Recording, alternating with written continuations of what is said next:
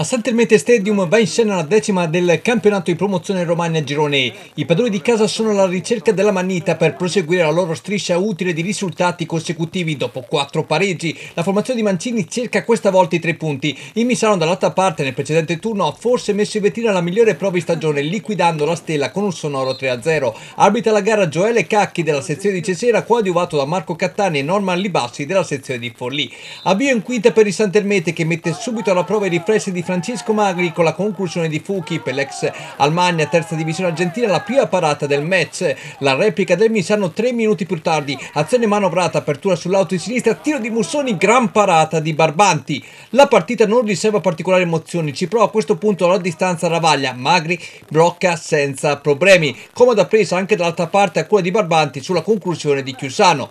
Dalla distanza ci prova anche Miguel Angelo Dero ma la sfera termina alta. Pasolini prova a pungere come sempre sempre ma viene fuori una comoda chiamata per Macri. Stessa cosa dicasi per Babbanti, impegnato su questa sortita offensiva conclusasi con il tiro debole di Nigro. Squadre a riposo sullo 0-0. Nella ripresa tra il tredicesimo e il quindicesimo arrivano le prime due conclusioni per il Santermete dall'angolo Pasolini di testa spaventa la porta difesa da Macri, successivamente ci prova dalla distanza senza fortuna. Il Misano replica con l'apertura di Nigro in favore di Londero, conclusione fuori misura a cura del numero 3 ospite. Lo stesso Londero poco dopo mette al centro un traversone spizzicato di tacco da Chiusano, sfera fuori misura. La punizione Antonelli prova a colpire ma la palla è lontano dallo specchio della porta. Pasolini sull'alto versante lotta dannatamente ma non trova Pertugi con Fuchi che interviene rubando tempo e sfera ma non riuscendo a inquadrare lo specchio della porta. Nel finale all'89 Gakko Vikai ha penetrato calcia alto,